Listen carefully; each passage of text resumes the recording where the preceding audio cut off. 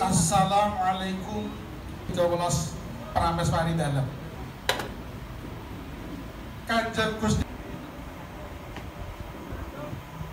Gusti kan Gusti Ratu Alit dengan kande maus basmalah sarjana.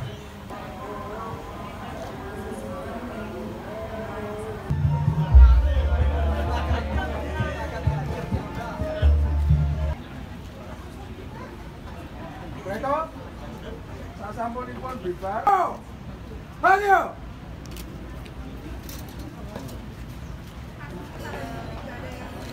Yang yang.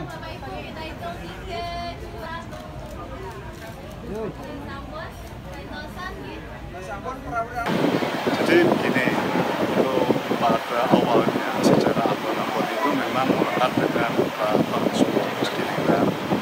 Jadi karena terkait dengan pusaka peninggalan yang Sunan Kalijaga, yang konon pada waktu itu eh, ya eh, Kota Antokusumo itu pas dipakai dari sekian wali itu hanya Sunan Kalijaga. Sejarahnya seperti itu.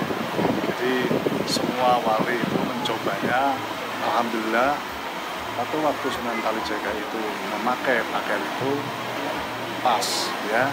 Nah, sejarah daripada abon-abon itu karena di dalam eh, kontak atau kusumo itu juga ada namanya wadah, namanya Kota Gondi. Kota Bandul ini yang sekarang berada di Keraton Surakarta dan baju Kota Kusumo ini yang sekarang saat ini dan setiap tanggal 10 Julhijjah di Jamasi oleh Bopo Sesepo itu berada di sini. Jadi kaitannya erat antara antara pakaian dengan wadahnya. Abon-abon ini dari Keraton Surakarta memberikan uh, semacam uh, ukur rampe.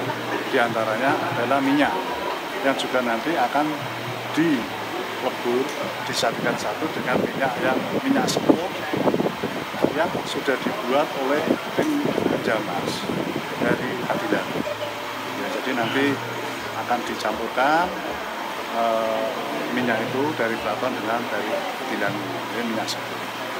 Nah, Keraton Kasunanan Surakarta tentu saja mendukung mendukung semua kegiatan ini menyengkuyung bersama-sama semoga ini semua bisa menjadi pemahaman pengertian baik untuk generasi sekarang terutama generasi akan datang akan arti nilai-nilai jati diri bangsa Indonesia dalam bingkai bineka tunggal. Kita melakukan kegiatan ambon-ambon yaitu pemberian uh, minyak jamas uh, dari uh, Keraton Kasunanan Surakarta membawa minyak jamas kepada diserahkan kepada uh, ahli waris uh, Sunan Kalijaga yang tentunya minyak tersebut besok digunakan panjang panjamasan uh, pusaka keris Kiai Cangkuk lan uh, Kota Antokusumo peninggalan dari uh, Kanjeng Sunan Kalijaga.